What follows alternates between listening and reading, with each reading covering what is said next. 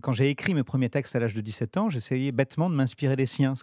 Ça veut dire que Jean-Jacques Goldman a joué un rôle en amont de votre carrière d'écrivain. Il vous a inspiré. Enfin, ça a été une sorte de modèle à un moment. Oui, bien sûr. Je suis allé le voir en concert. J'essayais encore une fois d'imiter ses textes. Et puis, je lui ai même écrit quand j'étais ado. Évidemment, il m'a pas répondu parce que le, pauvre, il devait recevoir à peu près 1000 courriers par jour à l'époque. Et ce qui est beau d'ailleurs, c'est que j'ai fini par, par raconter ça, cette passion pour Goldman, dans un de mes livres qui s'appelle Arrête avec tes mensonges. Et puis, il a, il a lu le livre et puis il m'a écrit pour me dire qu'il avait lu le livre. La réponse. Et, la réponse est arrivée 30 ans après. Donc c'était beau. C'était alors c'était à la fois 30 ans trop tard, mais c'était magnifique aussi. C'est-à-dire ce qui est drôle, c'est que j'ai reconnu l'écriture, sa propre écriture sur l'enveloppe. J'ai su avant d'ouvrir l'enveloppe que c'était lui. Et donc euh, donc c'était hyper émouvant. Alors, je vais pas dire ce qu'il a dit parce que ah bah si. Ah non non non non non. Allez. Non non mais enfin voilà c'était très gentil en tout cas ce qu'il a dit. Et, et, euh, et c'était beau parce que je me suis dit voilà il y a une boucle qui se boucle.